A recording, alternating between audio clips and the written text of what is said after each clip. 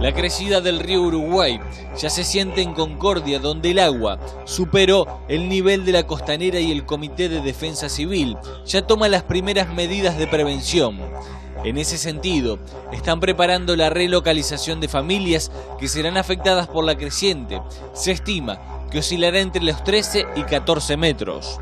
Según el último parte de Defensa Civil, durante los próximos días, el nivel del embalse del lago Salto Grande se mantendrá en torno a los 29 metros.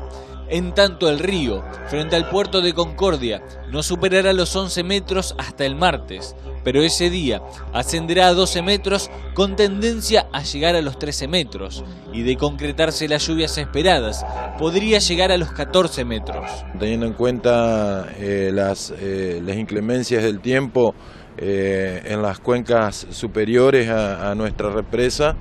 este, bueno, estamos eh, preparando, digamos, o haciendo acciones eh, de preparación en caso de que el río afecte eh, zonas ribereñas en las cuales existen todavía algunos que otros moradores. Las autoridades municipales recorrieron la zona ubicada en inmediaciones de Villa Cresto, con el objetivo de urbanizar el sector brindando los servicios correspondientes, previniendo que haya familias afectadas por la crecida del río Uruguay. El intendente Gustavo Bordet destacó que se busca que estas familias concurran a lugares seguros y con servicios para que se erradiquen definitivamente de las zonas inundables. Algo que ya se hizo con los vecinos de la ex cancha Las Heras, de María Goretti, de 9 de julio, asentamiento Diamante y de las familias ribereñas que estaban en cercanías de los clubes Regatas y Pesca. En tanto el viernes, el gobernador Urribarri sobrevoló la zona ribereña de Concordia y cercana a la represa de Salto Grande y dijo que Nación, provincia y municipio están trabajando en forma conjunta con Defensa Civil, Gendarmería y el Ejército. Yo he venido con el ministro de Desarrollo Social Carlos Ramos, recién llegamos, ahora vamos a sobrevolar eh, la zona con, con el intendente, con los funcionarios, pero como hemos hecho siempre, estaremos desde el primer minuto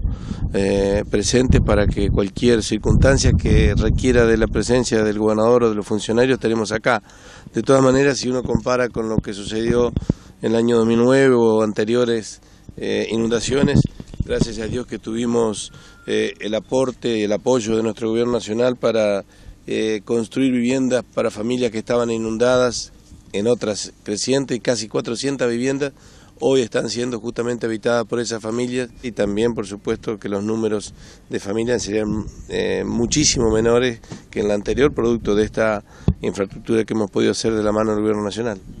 Como una medida central para disminuir al máximo los efectos de la creciente, las autoridades de la represa binacional de Salto Grande comenzaron a bajar el nivel máximo del embalse, lo que posibilitará amortiguar el pico de la creciente del río Uruguay.